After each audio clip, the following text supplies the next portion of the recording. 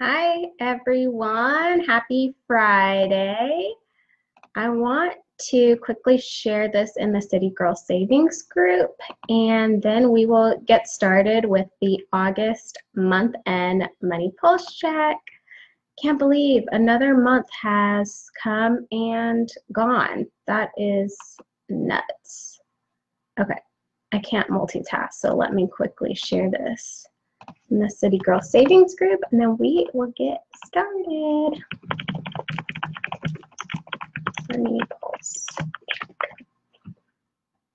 Post. Awesome. Okay.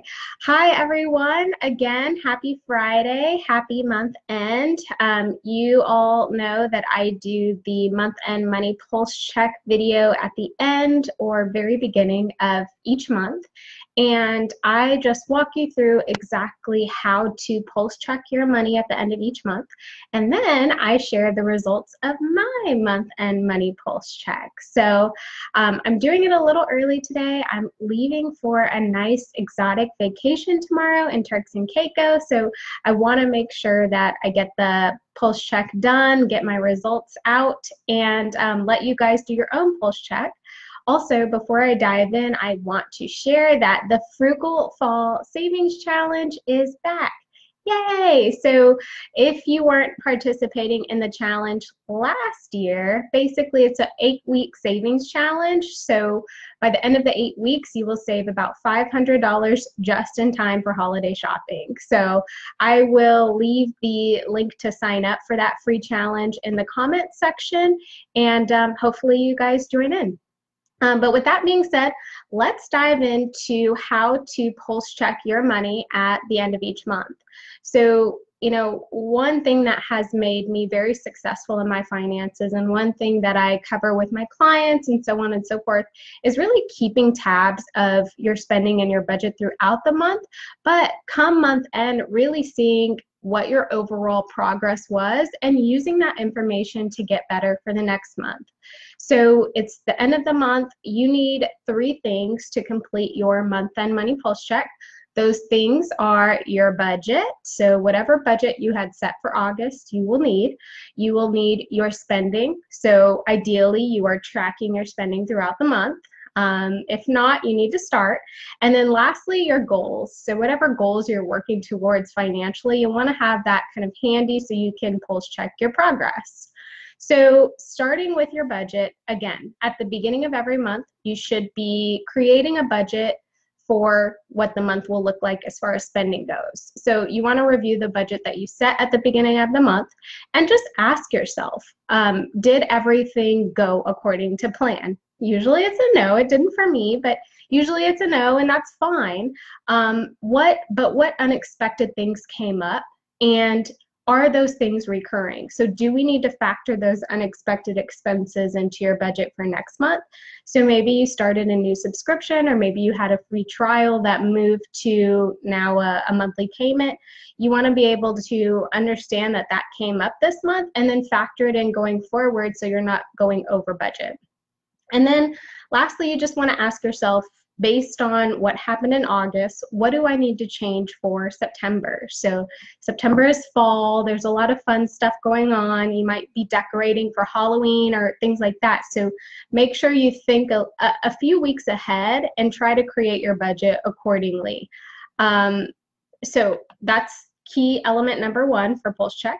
Key element number two is your spending. So like I said, you should be tracking your spending throughout the month, and if you're not, you need to start. Um, but basically, you want to review exactly what you spent throughout the month and what that means for your budget. So when you're looking at your spending, ask yourself, you know, what areas did I overspend in? Did I go out to eat more than expected? Well, why? Were there birthdays or, you know, what what caused that overspending? Um, next, you know, like I said, you kind of want to look a few weeks ahead with your budget to see if you have special events or things like that in September. So when looking at your spending, ask yourself, you know, will will things be higher next month? Maybe you have, um, maybe it's your birthday and you you want to do some fun stuff or treat yourself. So definitely think about what areas of your budget will be um, higher in, in terms of spending and make sure you allocate that in. And then lastly, just kind of a challenge question, but what can you do differently with your spending to make sure you stay in budget? So um, I know my kind of guilty pleasure is iced coffees, and um, with fall coming, it's the pumpkin spice lattes, and you know, it's just so exciting. Like, I already know myself, and I know that I'm gonna want a couple pumpkin spice lattes from Starbucks. So, I need to budget for that accordingly, and that means I probably need to spend less in another category just to make up for the difference because ultimately I have goals that I'm working towards, and I am not tapping into my savings for discretionary spending. Um, but speaking of goals, your goals is the third element you'll need to complete your month end money pulse check. And honestly, what you want to do is just look at the goals that you have set, whether it's for the month of August or just for the rest of the year, and then ask yourself, you know, did you make the appropriate progress? So if you were supposed to save a $100, you know, in August, did you save it? And if not, well, why? And if not, what do you need to do in September to make sure you're on track with your goal deadline? So if you were supposed to save 100 in August, you didn't save anything, does that mean you need to save $200 in September to make sure you're back on track? So you just want to think about that and make sure that your spending, especially if it's discretionary or variable, is not hindering your goals because at the end of the day, the goals are what counts. So make sure your spending is in line and then make sure your goals are um, on track to be reached. So that was just a quick overview of how to pulse check your money. Hi, Amanda. Hi, Karen. Um, this thing is a little slow, so I didn't see you guys joining in, but hello. I hope you guys are doing well.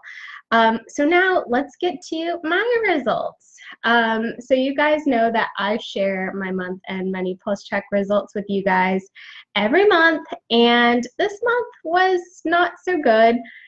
That was kind of to be expected. I know August I pay for my auto insurance and I pay six months in advance, so that's kind of a large chunk of money coming out all at once. And then, like I mentioned earlier, I have um, my birthday trip coming tomorrow. So, you know, I had to get my hair done, I got highlights, I'm getting my nails done, and, you know, all that fun stuff. So I knew August was going to be kind of a rough month with the budget. Um, so overall, I definitely overspent in going out to eat, but not too much, only by $50. So I'm, I'm proud of that.